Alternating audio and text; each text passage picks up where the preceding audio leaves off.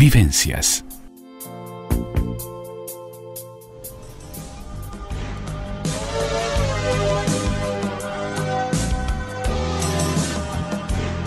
Vivencias. Entrevista.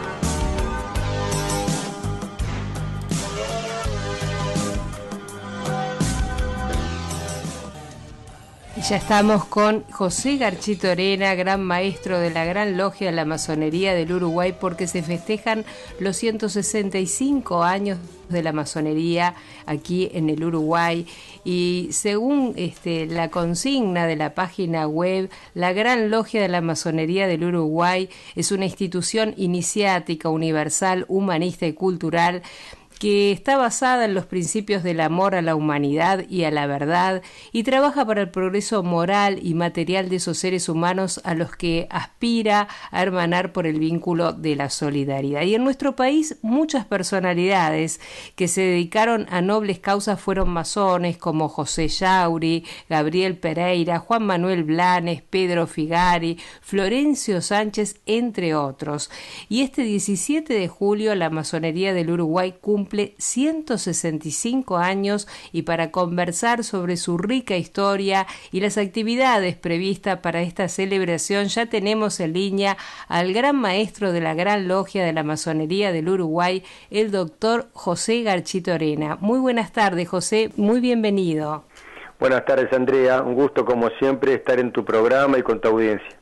Un gusto, un placer como siempre encontrarnos contigo y más en esta fecha eh, que hemos hecho una breve descripción de lo que es la masonería, pero quizás tú quieras agregar algo y contarnos también cómo fue este que se fundó y qué cómo ha surgido desde ese 17 de julio hasta ahora eh, la masonería, qué ha sucedido en todos estos 165 años, ¿no?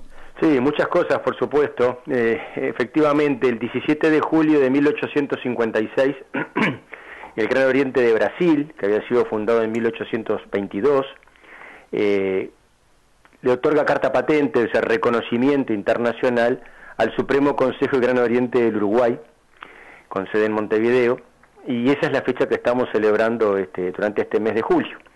165 eh, años de vida institucional, eh, muy rica por cierto, y bueno, de una institución que, que a lo largo de estos años, como tú decías, muchos de sus integrantes han tenido una participación destacada en diversos ámbitos de la, de la sociedad, una institución que, que ha crecido en número de logias, de integrantes, que tiene presencia hoy por hoy en los 19 departamentos de la República, que tiene vínculos internacionales con muchísimos eh, eh, potencias masónicas de eh, de, todo el mundo. Eh, y bueno, y que como tú decías, tiene un, un, fil de, por supuesto, de, mejoramiento moral, pero también de mejoramiento de las condiciones materiales de las personas en la comunidad. Claro. De, alguna manera, este, todo este tránsito, todo este camino, 165 años es mucho tiempo, eh, ¿cuáles son las principales huellas que, que considera José que ha dejado la masonería o que te gustaría destacar en este día? Bueno, yo creo que eh, para, empezar, digo, es una historia que se remonta mucho antes de 1856. Me parece importante también destacar eso, ¿verdad? Eh, la primera prueba documental de, la presencia de masones en, lo que entonces era la banda oriental, en Montevideo, data de 1807. Tenemos el diploma que acredita el ingreso a la masonería, a un regimiento de la logia este, masónica de un regimiento irlandés durante las invasiones inglesas de un criollo, Miguel Furriol, eh, que luego tuvo participación en el gobierno artiguista y bueno, y diversos, este, y en los primeros tiempos de la República, fue funcionario del, Estado. Eh, bueno, e, ese diploma se conserva y es el primer, la, prueba, primera prueba, documental de la presencia de los masones en, en, estas tierras. Pero, naturalmente, ya en el siglo XIX hay indicios de presencia de masones, iniciados en Europa, por supuesto, que estaban de paso en Montevideo, que era un, puerto colonial, muy, una apostadero naval muy importante en, el imperio español de la época. Eh, ese proceso, bueno, naturalmente después están todas las, logias patrióticas, que este, fue la forma que encontraron los patriotas para mm, organizarse, organizar la lucha por la independencia del Río de la Plata, del virreinato del Río de la Plata, ¿eh? las logias lautarinas, las logias, los caballeros orientales, ¿verdad? Eh, también los portugueses adoptaron el, formato de logial, digamos, para organizar a sus partidarios durante la ocupación portuguesa de, la banda oriental, la, logia de los aristócratas, que integraba el, gobernador portugués y luego brasileño eh, Carlos, Carlos Lecor. Eh, y bueno, pero empiezan también en, 18, en la década de 1820 a surgir logias más, más, más de tipo iniciático, tal como las conocemos hoy, fundamentalmente traídas a estas tierras por inmigrantes franceses. En, la masonería en todas nuestras regiones vino de la mano de los franceses eh, en, las ciudades puertos, ¿no? De hecho, las, logias, las primeras logias de, iniciáticas masónicas regulares, digamos, de, estas tierras, tanto en Montevideo como en Buenos Aires, como en Valparaíso, por ser ciudades puertos, fueron de franceses. Y aquí en Montevideo en 1827 se funda la logia Les Amis de la Patrie, que trabajó hasta 1800, 1937, 1937 dependiendo del Gran Oriente de Francia. Allí se iniciaron muchos masones que en 1830 fundan lo que podría llamarse la, primera logia oriental, que fue la logia Asilo de la Virtud número uno, todavía existente, que por eso mismo es la logia madre. Y allí, bueno, sigue el proceso que termina, como digo, el 17 de julio de 1856 con la creación de la, de la Gran Logia. Y a partir de entonces, bueno, viene la, época moderna, digamos, de la masonería, este, la, vida institucional de la masonería, la masonería obtiene personalidad jurídica muy tempranamente, en mayo de 1882. Desde esa época la institución tiene personalidad jurídica. Y como digo, este, a lo largo de estos, todos estos años muchos masones se destacaron en las artes, en las letras, en la medicina, en la industria y el comercio, en el deporte, en la política, en la administración. este, y bueno, basta repasar la, entrada a la página web, tenemos algunas de esas personalidades, pero eh, no, no, no, por ejemplo, no, desde Teodoro de Vilar de Bo y Ferreira, médicos, o Pedro Figari y Juan Manuel Blanes, o este, educadores como Elvio Fernández, o, más o Joaquín R. Sánchez, que tiene el nombre de los institutos normales, o más recientemente Antonio Grompone, o Saúl Sestau, el primer escribano decano de la Facultad de Derecho, ni que hablar de Alfredo Vázquez Acevedo, que fue rector muy importante también, pero también en la política, ¿verdad? En 1917, por ejemplo, cuando se estaba discutiendo la reforma de la Constitución, todos los poderes del Estado y la Asamblea Constituyente estaban presididas por integrantes de la masonería del Uruguay. El presidente Feliciano Viera, el, el presidente del Senado Ricardo Jotareco, el presidente de la, de la, Alta Corte de Justicia, Julio Bastos, y el presidente de la Constituyente, que era Alfredo Vázquez Acevedo.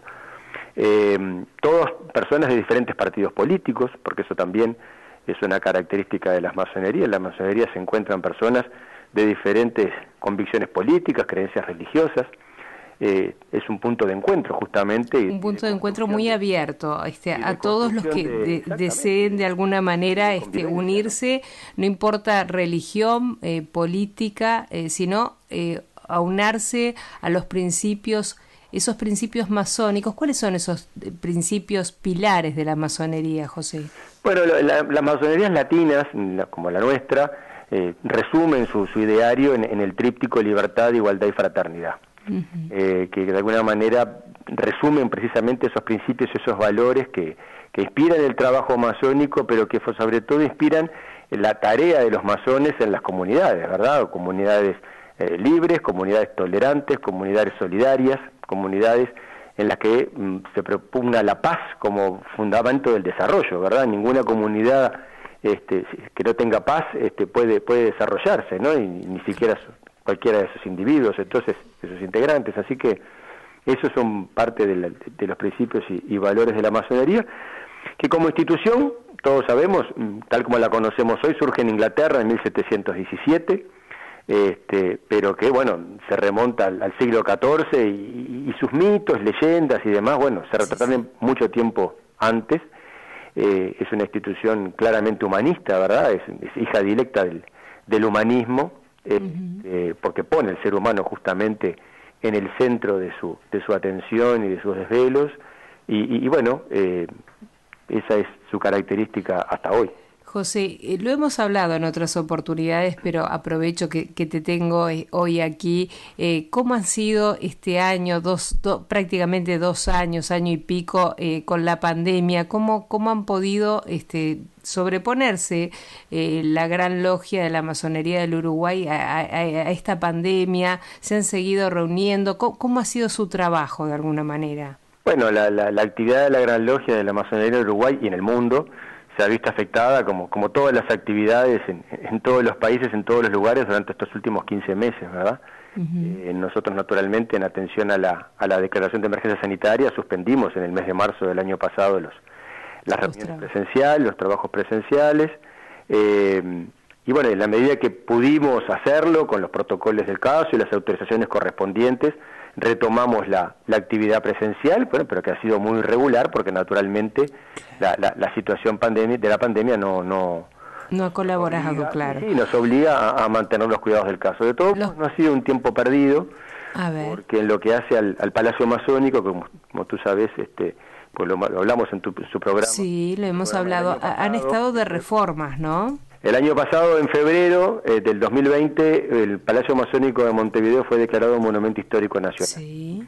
Y bueno, y en el mes de marzo, nosotros ya veníamos con un proceso de, mejora y de restauración del palacio, que bueno, aprovechamos justamente este tiempo de, pandemia, de, baja de la actividad, para eh, acelerar y, culminar. De hecho, en esta actividad que estamos organizando para el próximo lunes 12, con la presencia del presidente de la República, eh, y otras autoridades nacionales y de diversos sectores de la de actividad, este, vamos a, inaugurar de alguna manera públicamente las obras de restauración del Gran Templo y de otras dependencias del, Palacio Masónico. O sea que eh, dentro de los actos que tienen previstos, este lunes 12 de julio eh, se estarían eh, reuniendo allí en el Palacio Masónico para, para la celebración de este 165 aniversario, como bien decías, con la presencia del presidente de la República y quiénes más los van a acompañar. Sí, bueno, hemos invitado a autoridades de gobierno, ¿verdad? Este, hemos invitado a las a, las cabezas de los, de los tres poderes del Estado, ya está confirmada la presencia del presidente, pero también de la vicepresidenta de la República, la escribana Argimón, del presidente de la Suprema Corte de Justicia, de los expresidentes de la República, el doctor Sanguinetti, del, los ministros de Estado, los subsecretarios, eh, bueno, autoridades de los partidos políticos, los rectores de la Universidad de la República, de las universidades privadas, eh, y bueno, y después, este, naturalmente, autoridades, presidentes de eh, diversas organizaciones y este, de, la sociedad uruguaya, hemos invitado también al CNT, a la, a, la, Confederación de Cámaras Empresariales. De alguna manera hemos convocado a todos los sectores de opinión y de actividad, porque bueno, precisamente creo que la masonería tiene que ser un ámbito de encuentro, un ámbito desde donde haya un mensaje para todos de eh, justamente de, trabajo en conjunto y en concordia para por el progreso de, las personas y del país. Muy este bien, esto será entonces el lunes 12 de julio, 19.30 horas. y este... A las 19 y 30 horas en el Salón Confraternidad Americana del Palacio Masónico, por, por razones de, de la emergencia sanitaria tenemos que cuidar el aforo, que es un tercio del, del salón, por lo cual las invitaciones, naturalmente, es por invitación la participación presencial, pero lo vamos a estar transmitiendo en directo a través de la página web de la institución, masoneriadeluruguay.org. Muy bien, o sea, esto sí, eh, la, transmisión la puede ver cualquier persona desde cualquier parte del mundo. interese seguir la, la, actividad, que va a ser breve por otra parte, atendiendo también a, a las recomendaciones sanitarias. Y tenemos previsto también, y ya aprovecho para anunciarlo, el propio sábado 17 de, julio eh, vamos a hacer una, luego de una actividad interna, digamos, de celebración, también con el protocolo sanitario correspondiente, un homenaje al GACH, porque nos parece realmente que es una, han hecho una tarea formidable este, para, para toda la, la comunidad uruguaya y, merecen el, el, reconocimiento también de la, de la masonería. Así que en la persona de sus tres coordinadores vamos a hacerle un homenaje a todos los profesionales que han integrado el grupo asesor. El grupo asesor. Y lo vamos a eh, hacer ¿Esto va a ser el 17 de julio, José? ¿A qué hora? Va a ser a las 19 horas en el Palacio Masónico también, y por el tema de la FORES también es una actividad con participación, con invitación, pero que va a ser transmitida también por la página web de la, a través de la página web de la masonería Perfecto, o sea que esto eh, también va a estar siendo transmitido en vivo por la web. Eh, sé que a fin de año terminás este, tu segundo mandato como gran maestro. Eh, ¿qué, ¿qué, balance haces de tus cuatro años al frente de la, de la masonería del Uruguay? Bueno, en lo personal, creo, creo, creo que hemos, con el equipo que, que, que encabezo, porque naturalmente las las gestiones no, no son de una sola persona, hay, mucha gente que, ha participado y participa justamente en la administración y en todo lo que hace las actividades de la Gran Logia en todo el país. Este, creo que hemos llevado adelante, hemos procurado llevar adelante justamente un, plan de trabajo que, que, que es de, apertura de la masonería hacia la sociedad, explicando sus fines, sus propósitos, eh, y mostrando también su, su, rica historia a través de, hechos y, de los de personas que, que integraron la, la, masonería, ¿verdad? Tú nombrabas también, hoy nombrábamos, pero por ejemplo en el ámbito del deporte, eh, personas que a veces insospechadamente fueron masones, como por ejemplo Luis Francini o Luis Trócoli, dirigentes deportivos de, Enjundia claramente, o Florencio Sánchez, o Francisco Canaro, este, personas que en diferentes ámbitos de, de actividad se, se han destacado, ¿verdad? A propósito de esto que, estás diciendo, José, siempre hablamos de, la discrecionalidad, este, porque viste que todos estos nombres aparecen, pero aparecen después de muchos años. ¿A qué se debe esto? A ver. Bueno, porque la, pertenencia a la masonería naturalmente la maneja cada uno eh, de acuerdo a su, a su condición y circunstancia. Este, Eso es una puede ser también una, un reflejo histórico, no nos olvidemos que la masonería cuando surgió en el siglo XVIII fue una institución perseguida, no por la Iglesia, los primeros que, persiguieron a la masonería fueron los gobiernos absolutistas de la época. Luego sí, la masonería naturalmente empezó a ser combatida por la Iglesia porque la Iglesia sintió que de alguna manera los principios y valores y, y, los propósitos que animaban a la masonería podían estar minando el poder temporal de la Iglesia y los papas y bueno, ahí en lo, que, lo que hace los países católicos hubo, empezó sí a haber un, contrapunto, digamos, entre la Iglesia Católica y, los masonería, pero en realidad en los países de religión protestante esa situación no se dio. Y, este, pero bueno, eh, lo que quiero decir con esto es que esa historia eh, donde la masonería fue perseguida, donde los masones fueron perseguidos, donde aun cuando no fueron perseguidos en épocas más recientes, posiblemente el hecho de pertenecer a la institución era un era un demérito o era una, una, una causa de tacha y social, entonces, bueno, mucha gente naturalmente tiene con todo derecho a preferir, prefiere o prefirió y prefiere mantener en, en reserva su, su en reserva su, su pertenencia a la, a la institución. En Uruguay, por cierto, es un país muy muy liberal, muy libre, es un país muy eh, abierto en ese sentido y creemos que no no, no hay mérito para este, mantener en secreto algo que en realidad no tiene nada que ocultarse, porque en realidad la masonería, como digo, tiene personería jurídica desde 1882, sus propósitos eh, son bien claros para todos y son más que compatibles, digamos, con, con lo que es la, idiosincrasia nacional y, y, el sistema democrático y demás. Así que, en definitiva, en ese sentido, bueno, eso es lo que hemos procurado durante estos cuatro años, de mm, seguir en un proceso que viene de antes, porque eso también es importante, la masonería también son todos procesos de largo aliento, de justamente de eh, explicar lo que es la institución y de, y de ponerla al servicio de la comunidad, que creo que eso también es el propósito de todos los masones. Claro que sí. Gracias, José. Nosotros agradecerte eh, porque siempre hemos contado este, que, te hemos este, solicitado una entrevista. Siempre has estado abierto, dispuesto, eh, con tu tiempo y bueno, agradecerte por, por esa gentileza de siempre este, y tu apertura y, y, tu disposición porque realmente es este, muy valorable. Así que muchísimas gracias. No, gracias a ti porque, bueno, los agradecidos somos nosotros porque tu, tu programa siempre ha sido una una oportunidad de, salir a conversar y, hablar de todos estos temas y así que por eso digo los, agradecidos somos nosotros y por supuesto eh, los invitamos a todos a seguir la transmisión en directo del tanto del acto del, del 12 de julio a las 19 y 30 horas como el del sábado 17 de julio a las 19 horas. Muy bien, así será entonces. Muchísimas gracias, este, José Garchito Arena. Un placer, como siempre. Y seguimos en contacto porque no faltará oportunidad eh, para, para que sigamos convocándote como, como siempre, que es un gusto. Muchísimas gracias. A la orden, un gusto.